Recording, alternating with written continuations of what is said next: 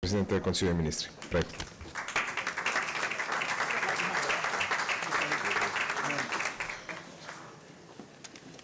Grazie di cuore, grazie a tutti, grazie al... Questo lo posso? Sì, no. Chiedo scusa. No, no, mai si faccia senza sfondo un'iniziativa organizzata da D'Angelis. Eh, è un'occasione molto preziosa quella che, questa che stiamo vivendo e sulla quale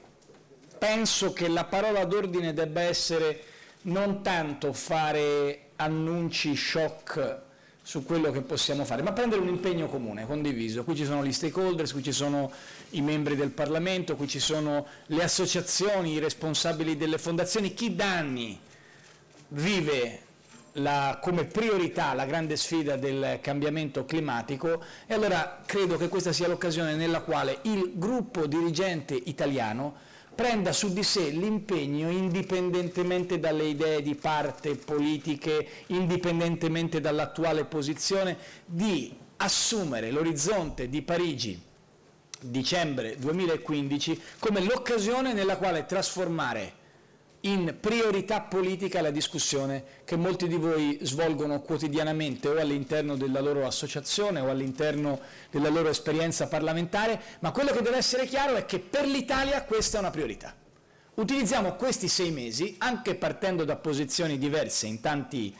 singoli scelte, per tentare di dire che questa priorità italiana cerchiamo di non sciuparla cerchiamo di non buttare via questi sei mesi che abbiamo di fronte a noi. Ecco perché esprimo la gratitudine del governo, ovviamente al ministro Royal, al governo francese per la presenza qui. Stiamo lavorando molto insieme in vista di Parigi 2015. Ringrazio il Cardinal Tucson per aver portato la sua voce quest'oggi e eh, suo tramite ringraziamo il Santo Padre per le considerazioni che ha espresso all'interno dell'enciclica che faranno discutere, io credo, non soltanto nel giorno dopo giorno ma in un arco di tempo più ampio. Ringrazio naturalmente tutti i rappresentanti del governo che stanno, a partire da Gianluca Galletti, che stanno lavorando in questo settore. Ringrazio anche Ilaria e Mario che hanno avuto la, il dovere di, di, di, parleranno più tardi e non subito. Vengo alla sostanza del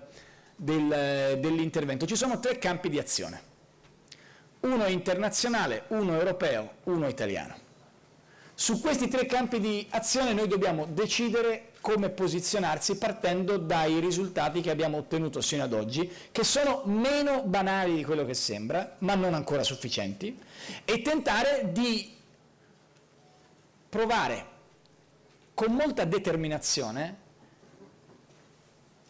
a raggiungere dei risultati che siano risultati spendibili non tanto per il lancio di agenzia o per il giornale del giorno dopo, ma che siano capaci di incidere in profondità. Chi di noi ama De André sa che c'è una, una, canzone che dice che il tempo è un signore distratto, è una delle canzoni peraltro più belle di, di De André tra le tante. Io credo che il tempo in questa vicenda non sia un signore distratto, che il tempo sia centrale cruciale, ne parlavamo con alcuni parlamentari del mio partito mi hanno diligentemente preparato alcune note per questo incontro. Il tempo non è un signore distratto, il tempo è l'elemento chiave di questa partita. O noi siamo in grado di intervenire nei tempi giusti, oppure la partita è persa a prescindere. Il Santo Padre usa l'espressione rapidación, ammetto l'ignoranza, non conoscevo questa espressione che credo sia spagnola o eh, tipica del dialetto, eh, ma proprio rapidazione come fenomeno di cambiamento così, di accelerazione nel cambiamento che è oggettivamente una parola che sta segnando la, la stagione che stiamo vivendo. Vent'anni eh, fa a Rio, 23 anni fa a Rio de Janeiro probabilmente, senza probabilmente, il mondo era profondamente diverso, si pensi alla tecnologia, a come la tecnologia ha cambiato, direi, il DNA di alcune discussioni. Si pensi al ruolo che ha avuto non soltanto lo sviluppo della rete, ma le applicazioni della rete nella vita quotidiana, nella vita politica, culturale, nella vita sociale, nella vita delle relazioni affettive. E 20, 23 anni fa, beh sì, insomma c'era, ma si era all'inizio della grande stagione della rete. Quindi, primo punto di partenza che vale per tutti e tre i campi di azione, il tempo è una variabile fondamentale. E allora, a livello internazionale si parte di lì perché non prendiamoci in giro noi possiamo fare tutti gli sforzi di buona volontà, o questa sfida la vinciamo a livello internazionale o comunque le sorti del pianeta non dipendono soltanto da noi. Mi sembra del tutto banale. Guardate i numeri, guardiamo i numeri, sappiamo che cos'è l'Europa, sappiamo che cos'è l'Italia, siamo molto orgogliosi di ciò che siamo, pensiamo di poter giocare un ruolo maggiore rispetto al numero dei nostri abitanti o all'estensione geografica, ma questa sfida o si vince a livello internazionale o non si vince. Qual è la mia impressione? La mia impressione è che per la prima volta la consapevolezza del problema sia ampiamente diffusa, non soltanto nella comunità europea, cui verrò tra qualche istante, ma anche nella comunità politica internazionale. Se ne è discusso in modo non sufficientemente approfondito, forse rispetto a quello che si farà naturalmente a Parigi durante il summit del G20 in Australia lo scorso novembre, è stato un tema chiave nella discussione del G7, El Mau credo che abbia segnato dei punti importanti nel ribadire gli obiettivi e l'impegno della comunità internazionale. Noi abbiamo oggi l'appuntamento di settembre alle Nazioni Unite su cui a cui attribuiamo grande importanza comunque in preparazione di Parigi 2015, perché eh, il lavoro che sta svolgendo il segretario generale dell'ONU nel mettere in agenda come priorità il tema della lotta al cambiamento climatico e di un diverso approccio verso la sostenibilità non è banale. Quindi settembre l'appuntamento alle Nazioni Unite, a ottobre d'intesa con il governo francese e con l'Unione Europea Milano sarà la sede di un appuntamento preparatorio a Parigi e lo vogliamo fare perché pensiamo che il rapporto tra Expo, Nutrire il pianeta e eh, la conferenza di Parigi possa lasciare qualche suggestione interessante e significativa e poi naturalmente avremo il vertice di novembre in Turchia del G20 che sarà l'occasione ulteriore in attesa dell'appuntamento di Parigi. L'Italia deve portare la sua voce uscendo, lasciatemelo dire, da una certa attitudine che noi abbiamo all'autoflagellazione, ne parlavamo proprio ieri durante l'incontro con il Presidente Hollande in occasione di un pranzo che abbiamo fatto di discussione più di natura culturale, con una serie anche di ospiti internazionali per ragionare a proposito della nostra relazione in questo momento e nel ruolo che entrambi i paesi, entrambi i paesi possono avere in Europa. Noi abbiamo bisogno di raccontare a noi stessi che se l'Italia svolge il suo mestiere, Remete direbbe se l'Italia fa l'Italia, c'è uno spazio decisamente maggiore delle, dei numeri dei nostri abitanti o della eh, estensione geografica del nostro paese. Noi siamo percepiti all'esterno molto meglio di come ci percepiamo noi. E allora affermare che questo tema è una priorità non è semplicemente il tentativo di dire vabbè nell'ambito delle cose che ho da fare metto anche questa tra le riforme che dobbiamo portare a casa. No, è restituire un senso di identità al nostro Paese che da sempre ha espresso alcune eccellenze in questo settore. Ecco perché io credo che la partita internazionale debba vedere un'Italia orgogliosa, un'Italia capace anche di discutere al proprio interno, un'Italia che non la pensa allo stesso modo su tutto, ma un'Italia che ha consapevolezza di giocare un ruolo più grande rispetto alle discussioni in cui gli ultimi anni l'hanno costretta. Un'Italia che abbia uno sguardo non angusto,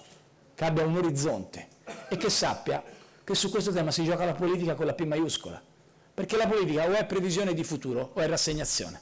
Perché la politica o è capacità di immaginare un domani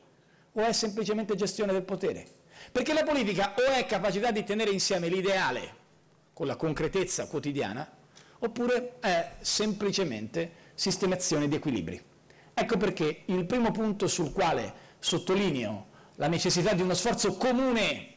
dei membri del Parlamento interessati, anche degli altri naturalmente, delle realtà culturali, delle realtà associative, prendiamoci questi sei mesi, perché,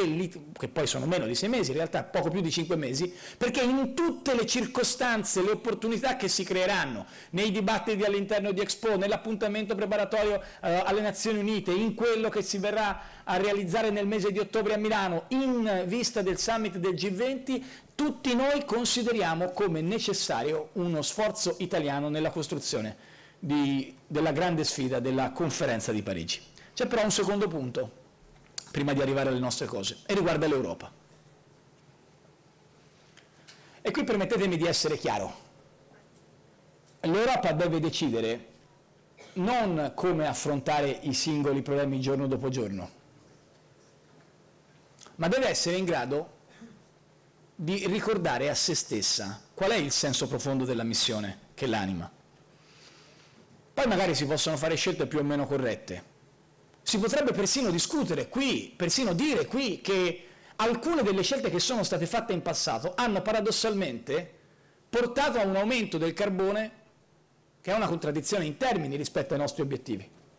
E quindi dobbiamo riflettere anche su questo, anche sulla concretezza delle singole scelte. Bene, il fatto che in alcuni momenti si sia perduto uno sguardo capace di tenere insieme le questioni della sostenibilità ambientale e dello sviluppo economico, magari diventando, come è accaduto in Italia, leader della tecnologia, ma non in grado di sviluppare una filiera industriale su quelle stesse realtà in cui si stava sviluppando una forte tecnologia, ha portato paradossalmente a indebolire la scommessa europea. Ma non è questo l'oggetto della mia riflessione perché nel merito si può discutere e trovare tutte le soluzioni tecniche, sarà saranno le persone esperte, i competenti del settore a verificare cosa è stato fatto bene, cosa è stato fatto male, come si devono cambiare le scelte che si, che si devono cambiare. L'orizzonte è quello che ricordava Gianluca, che ricordava Segolène, che è quello di un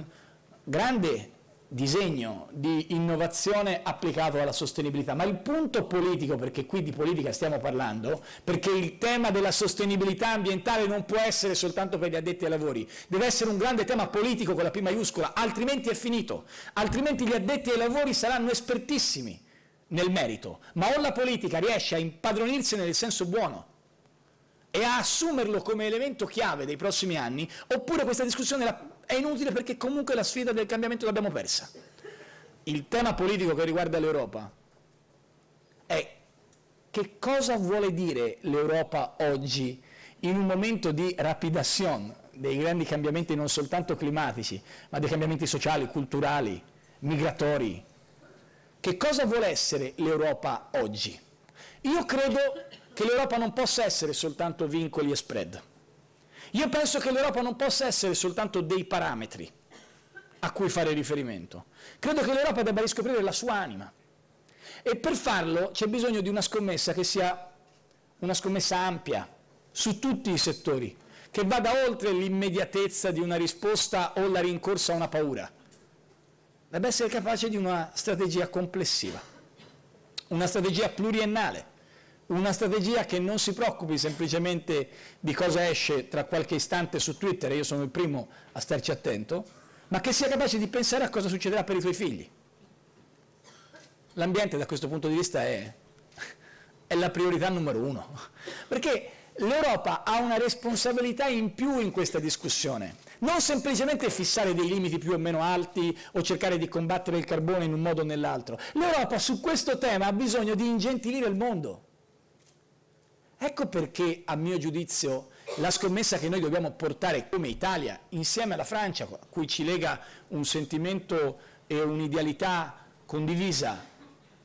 è quella di riuscire a far passare il messaggio che la discussione non è con i paesi appena entrati sul livello di, di, di, di innovazione delle rinnovabili, c'è anche quello,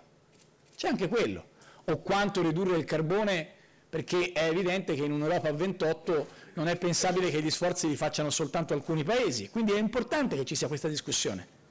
E l'abbiamo fatta e continueremo a farla e durante il semestre italiano abbiamo fatto dei passi in avanti e continueremo a farla nei prossimi mesi e nei prossimi anni. Ma il punto chiave è, vuole l'Europa essere alla guida di un percorso di cambiamento nel mondo che sia capace di restituire anche al nostro continente un'idea che non sia semplicemente un'idea economica o un'idea monetaria? Questa è la scommessa che abbiamo di fronte oggi e che naturalmente non riguarda soltanto l'ambiente, ma che riguarda particolarmente l'ambiente. La terza partita però è tutta interna nostra.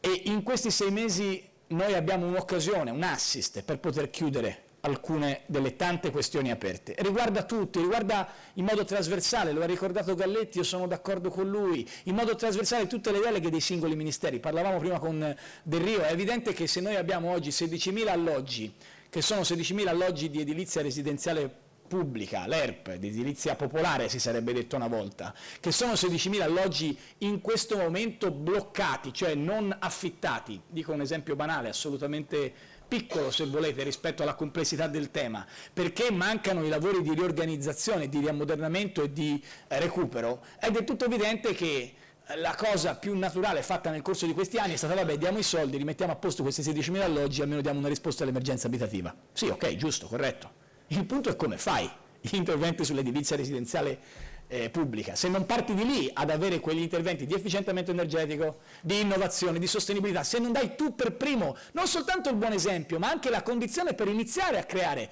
una filiera di interventi, non sei credibile. Allo stesso modo, voglio dirlo con molta franchezza, so che in alcuni di voi, pur nel rispetto del lavoro che stiamo cercando di svolgere sui cantieri, sul recupero della grande questione delle bonifiche, delle discariche, di tutte questioni su cui siamo indietro di decenni e per le quali l'impegno del governo è quello, giovedì poi lo dimostreremo con numeri alla mano in una conferenza stampa, di riuscire finalmente a scrivere una pagina nuova? So che tra molti di voi pur essendo oh, magari forte anche l'apprezzamento per questo tipo di lavoro, ci sono perplessità, venivano ricordate prima dallo striscione che è stato esposto, per alcune norme che sono state contenute nello sblocco Italia. Io non ci giro intorno, io so che questo è un tema delicato.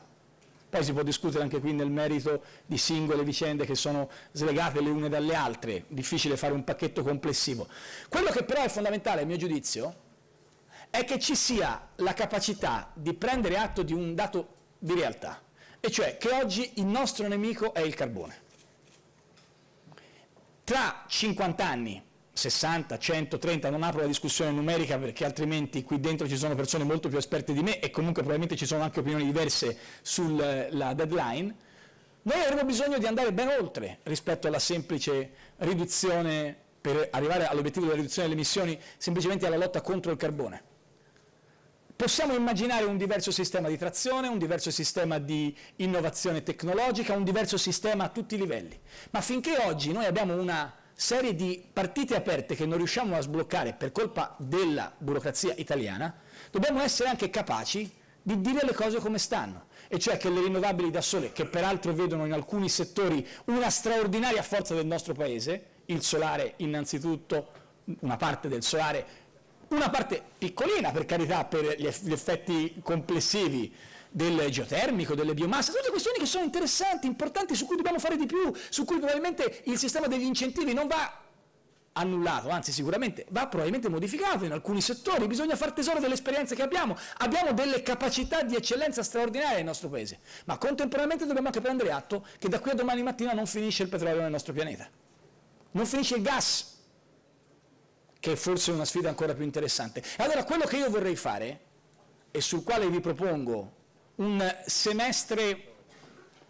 fertile, un semestre felix, si sarebbe detto nel termine eh, latino, un, che non vuol dire semplicemente felice, ma capace di generare un semestre fecondo, è quello di riuscire,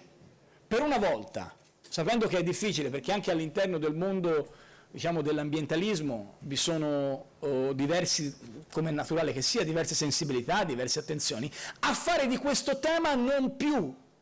un elemento di divisione, ma tentare tutti insieme di utilizzare la sensibilità che è oggettiva che c'è da questo governo, e non ho bisogno di citare gli ecoreati, o le esperienze di molti di noi come amministratori,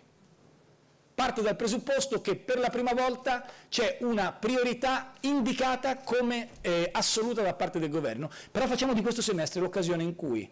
anziché stare a discutere al nostro interno, proviamo a portare la voce dell'Italia a tutti i livelli in un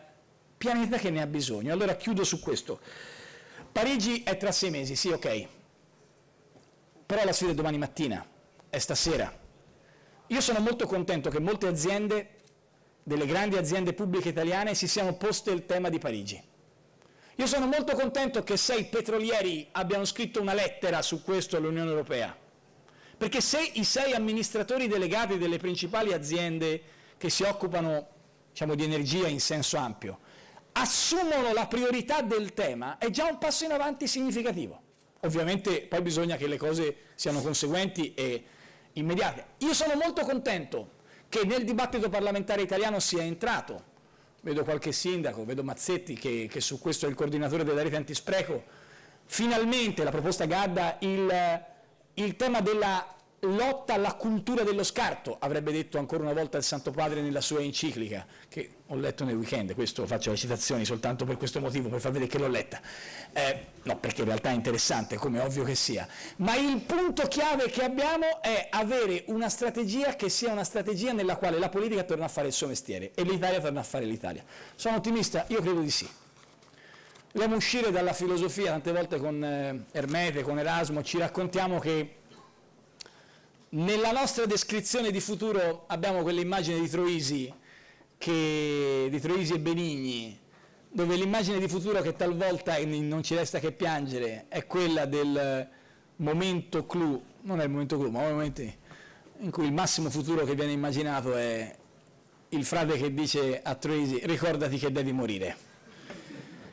E purtroppo talvolta l'Italia racconta questo nel futuro. Un grande poeta greco, voglio dirlo, citarlo oggi, diceva non c'è più il domani di una volta, finisce che il domani non è più un domani. Io non credo a questa cultura del, della negatività e del pessimismo, io sono decisamente ottimista sul futuro del nostro Paese, della nostra Europa e del nostro pianeta, ma c'è un elemento chiave, bisogna avere il coraggio di assumersi le responsabilità oggi.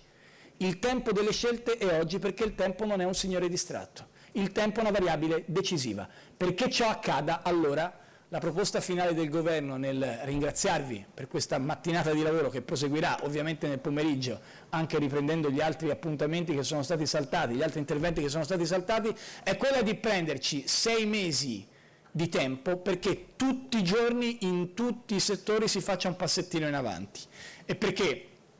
dalla costruzione delle nuove scuole, i 940 milioni che sono arrivati dalla BEI, i miliardi che abbiamo messo da parte per arrivare al fabbisogno necessario ai nostri studenti nel progetto più ampio anche questo peraltro molto discusso della buona scuola, nella realizzazione delle opere pubbliche, nella realizzazione di un sistema di smart cities, fatemelo dire da ex sindaco, è inutile che si continui a parlare dei sindaci nel dibattito politico italiano soltanto per parlare dei tagli che c'ha quella struttura o quell'altra. Le città metropolitane o diventano il luogo, il luogo e il ruolo nel quale finalmente si fa una discussione seria sul futuro delle aree urbane, sapendo che nei prossimi 30 anni la stragrande maggioranza dei cittadini andrà a vivere in questo, il fenomeno di flussi migratori non è soltanto dall'esterno all'interno, è anche all'interno delle nostre realtà, sempre di più si va verso le città. E allora le città intelligenti o sono un luogo nel quale si prova a costruire con capacità di innovazione, magari bloccando qualche nuova costruzione, però consentendo allo stesso tempo di riuscire a fare nuove costruzioni intelligenti e forse su questo c'è bisogno anche di fare qualche modifica al nostro sistema burocratico amministrativo senza darla vinta ovviamente ai profeti della eh, distruzione di massa che sono quelli che hanno già abbastanza distrutto il paesaggio in Europa, bene se c'è questo, se c'è questa capacità io credo che l'Italia possa vedere in Parigi non un appuntamento, non un evento, non mandiamo Galletti a fare una giratina a Parigi, a parte che ce ne va anch'io, non mandiamo nessuno dei nostri ministri a fare una giratina a Parigi, non abbiamo bisogno del viaggio premio, Parigi è il luogo nel quale nei prossimi sei mesi si gioca una partita chiave per il futuro del nostro Paese, del nostro pianeta, ma anche dell'idea stessa di politica. Non sprechiamo questa occasione.